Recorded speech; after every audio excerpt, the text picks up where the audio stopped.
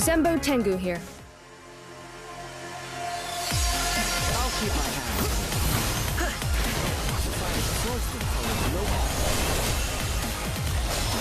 Is this some kind of special tactic? You can't catch the wind.